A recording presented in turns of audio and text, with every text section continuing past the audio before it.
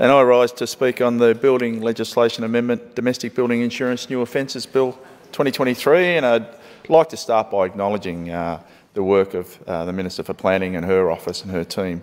And of course all the stakeholders that have been included uh, in this uh, bill and that's the Housing Industry Association, the Master Builders Victoria, the Urban Development Institute of Australia, the Victorian Building Authority, and of course I offer my congratulations to Anna Cronin as the newly appointed C CEO of the VBA, and I wish her well in improving the um, VBA in its regulation of this industry, and certainly uh, things need to improve.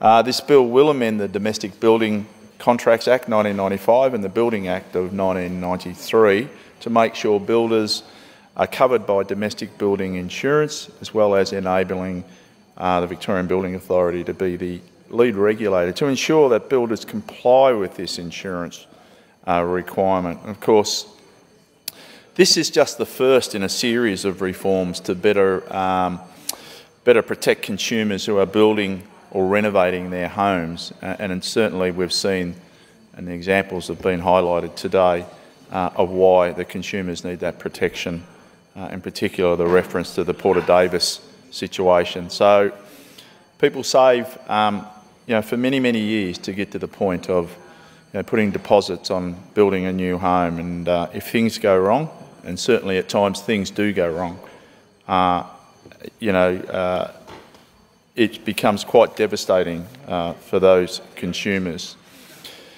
And look, know, we definitely have a substantial amount of work to do. And as I say, this is just the first reform uh, and many more to come and uh, it will be part of a total package and uh, putting it into place, safeguards and protections uh, is important work and I want to thank the Minister again and their team on the substantial amount of work they've done and have yet to do with the other uh, uh, bills that will come forward.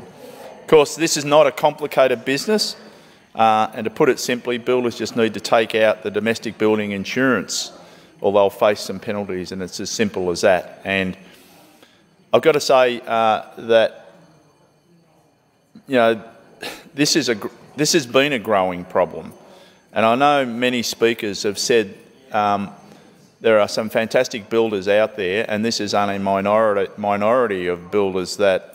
Um, act in this way and not take the insurances out. But I've got to say, uh, my experiences in my electorate, one of the fastest growing electorates in, in the state, uh, it is more prevalent um, of the dodgy builders than the great builders. And I've seen many, many ex um, examples in my electorate. Uh, and I've got to say, it appears to me that uh, the dodgy builders are doing this just based on total greed. They think they can build houses and pump houses out very quickly um, I won't say cheaply. Uh, they sign up people, they deliver the end product with many, many defects. Um, they think they're untouchable. They use unlicensed and unregistered tradies. Um, they don't care about the dispute process and they just sit on their hands and, and basically bat consumers away. Um, you, you can go through the dispute process and try and resolve it through the DBDRV, uh, and if it can't be resolved, then the punters are off to VCAT, um, which takes a long time to get into VCAT to try and get your building dispute resolved, and it costs a hell of a lot of money. Engineer reports, um, legal representation, uh, and in a lot of cases, uh, the consumer can't afford those things.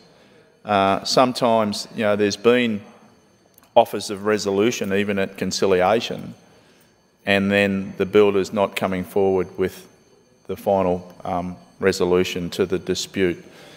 And in one particular case that I've got in my electorate, um, the physical and mental anguish that it's caused to this particular consumer um, actually put her life at risk.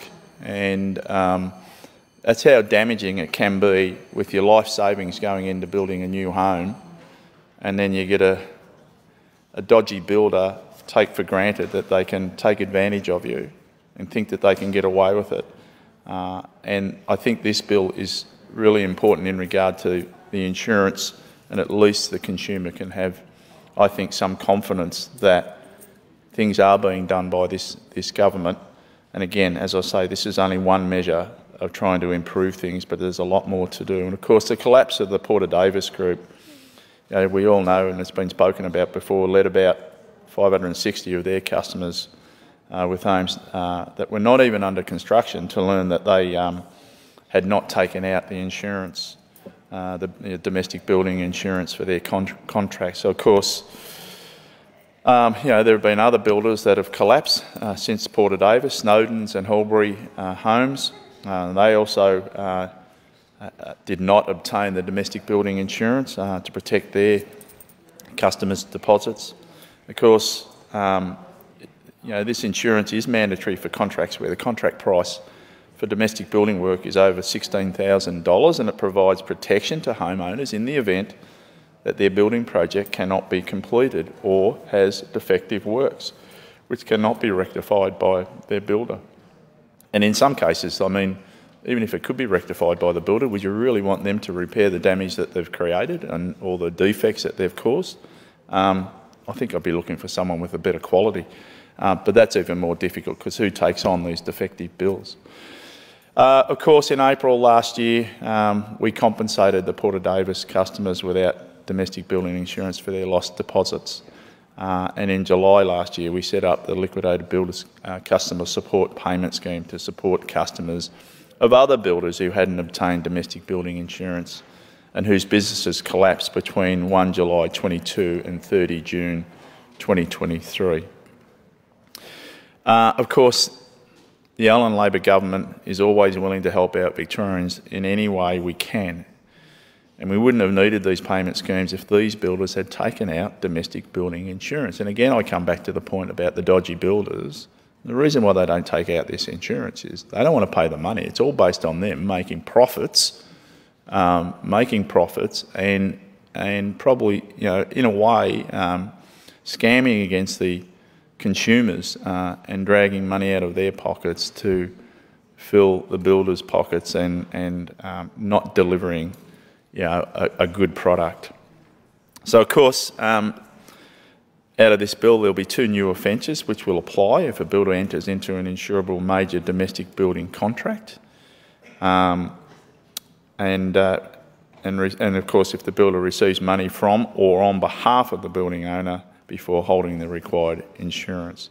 There's two different penalty levels applied based on the seriousness of the conduct, with a higher penalty to be applied if the offence is committed knowingly or recklessly, and the lower penalty applies when the offence is committed, even if there was no intention to commit it. Of course, um, if they do commit these offences, they could face uh, a penalty or a fine of up to 500 penalty units, which is around $96,000, with fines of up to uh, 2,500 penalty units or approximately $480,000 for body corporates. And I'm sure everyone's sick of me talking about dodgy developers, which I've done in the past. Um, but of course, in some cases, and in particular in fast growing electorates like the Meltons and the Wyndhams and the Tarneits and areas like that, uh, and even in the northern suburbs and the southern areas down the Cranbourne Way and all those, Clyde and all those areas, a lot of these developers have got a lot to answer to. Um, signing people up to these deals with the, these builders that they use knowing that um, they may be using unlicensed and unregistered tradies, um, doing it on the cheap, uh, trying to make massive profits, and then in the end collapsing uh, and, and, unfortunately not being covered by uh, the insurance. Um, I want to make reference to, um, and I've only got a short time, the Melton TAFE, and that's being set up um, primarily to provide uh, construction trained workers. And we're talking about up to 600 construction trained workers out of the Melton TAFE. And that's also an assistance going forward about training people appropriately that they will be proud of what they do within the construction in the industry and the building industry. They'll be proud of the products that they deliver, and hopefully, part of that will be not ripping people off. That's the issue. That's the key issue. You know, avoid the greed. This is a very important bill, and I commend it to the House.